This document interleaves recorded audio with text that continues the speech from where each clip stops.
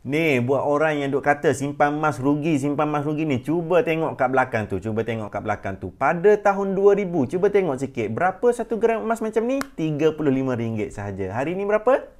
Hari ini gold bar 1 gram macam ni setelah 23 tahun nilainya meningkat 10 kali ganda tuan-puan daripada RM35 sekarang dah sampai RM320. So apa yang saya faham sebenarnya tentang emas ni emas ni dia bagus kalau kita nak simpan duit dalam jangka masa yang panjang. Sebab apa? Duit ni makin lama nilai dia semakin susut. Tak percaya? Cuba tengok balik. 10 tahun lepas RM100 boleh beli macam-macam kan? Sekarang hari ini bawa pergi shopping RM100 cuba tengok dapat berapa biji plastik? Dapatlah 2-3 biji plastik plastik kan?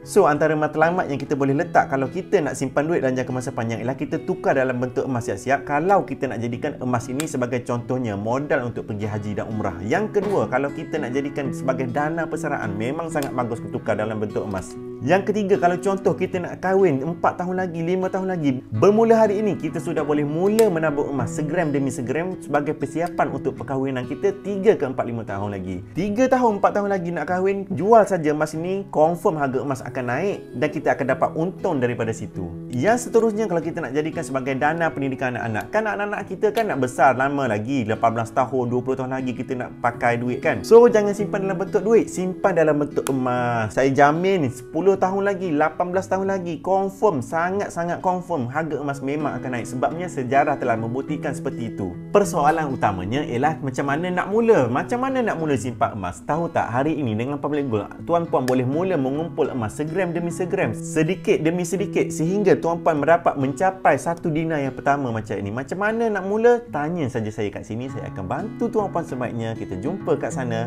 Bye-bye.